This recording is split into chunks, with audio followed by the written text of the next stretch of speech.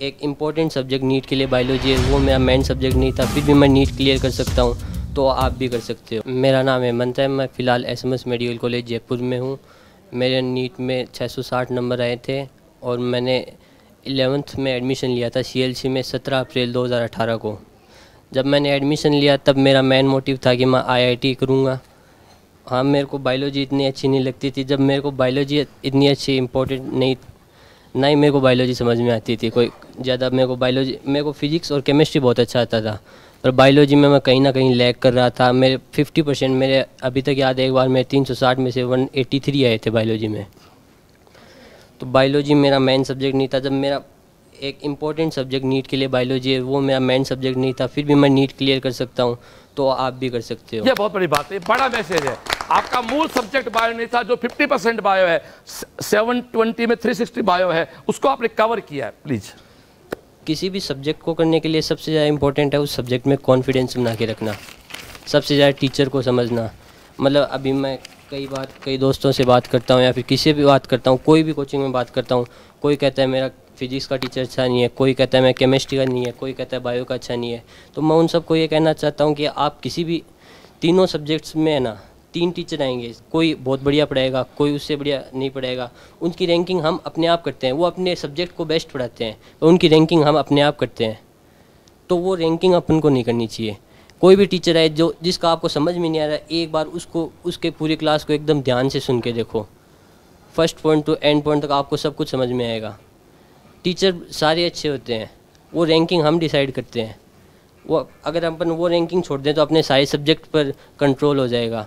Particular subject की बात करूँ तो फिजिक्स में मैंने यूनिवर्सल की, सिर्फ़ यूनिवर्सल की। मेरे को ध्यान है लॉकडाउन में मैंने तीन चार महीने में आठ बार यूनिवर्सल सोल्व की थी। और मेरा डेली टारगेट था कि आज मैं आठ सौ क्वेश्चन करूँगा, आठ हज़ार क्वेश्चन करूँगा। यूनिवर्सल में दस हज़ार के अप्रोक्स क्वेश्चन होते हैं। तो मतलब दस पंद्रह दिन के अंदर मैं हर बार एक यूनिवर्सल कर देता था। साथ में बायोलॉजी और केमिस्ट्री के लिए आप एन पे मेनली फोकस करें। और किसी भी सब्जेक्ट में ओवर कॉन्फिडेंट ना हो। मेरा फिजिक्स और केमिस्ट्री मेरे मेन सब्जेक्ट थे पर मैं ये देखता था कि केमिस्ट्री में तो मेरे 180 आएँगे।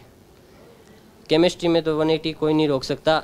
मेरे नंबर कम कट सकते हैं या तो बायोलॉजी में कटेंगे या फिर फिजिक्स में कटेंगे। पर ऐसा नहीं हुआ। मेरे सबसे कम मार्क्स भी केमिस्ट्री में ही आए। मेरे केमिस्ट्री में 150 मार्क्स आए। थर्टी वहाँ अकेले कट गए। कुल साठ कम हुए तीस अकेले केमिस्ट्री उठा गई।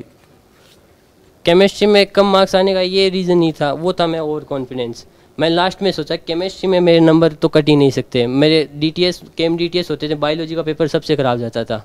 और केमिस्ट्री का सबसे अच्छा मतलब बहुत अच्छी रैंक आती थी मेरी केमिस्ट्री में। लेकिन फिर भी मेरे केमिस्ट्री में नीट में सबसे कम मार्क्स आए क्योंकि मैं और कॉन्फिडेंट हो गया था उस सब्जेक्ट के लिए। तो किसी भी सब्जेक्ट के लिए और कॉन्फिडेंट ना हो, सबको लेवल में लेके चलें।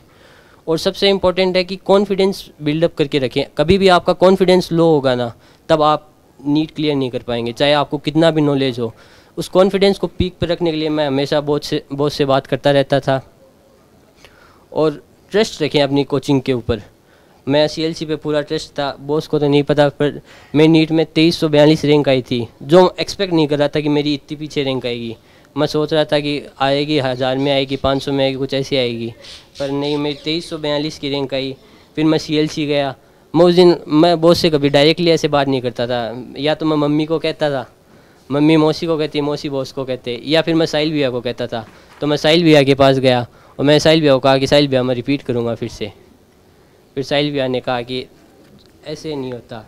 तेरे जो फैमिली को चाहिए, वो तूने दे दिया। फैमिली खुश है तो हम भी खुश हैं। तेरी रैंक से कोई मतलब नहीं है। तेरी फैमिली खुश है, हम खुश हैं। और कहा कि ये कोई एक एक मात्र जो एग्ज़ाम नहीं है, जो तेरी रैंकिंग डिसाइड करता है। आगे भी बहुत एग्ज़ाम आएँगे, पूरी ज़िंदगी आगे पड़ी है। तो तुझे रिपीट करने की ज़रूरत नहीं है। एस एम एस बहुत बढ़िया कॉलेज है। तेईस सौ बयालीस की रैंक टॉप रैंकर्स में आती है। हाँ तुझे कम लग रही होगी, पर फिर भी तेईस सौ बयालीस टॉप रैंकर्स में आती है तो रिपीट की कोई ज़रूरत नहीं है। और इसीलिए मैं कहता हूँ कि अपनी कोचिंग के ऊपर पूरा ट्रस्ट रखें। Thank you Jai C L C thank you dear दोस्तों, ये होते हैं खतरनाक खिलाड़ी।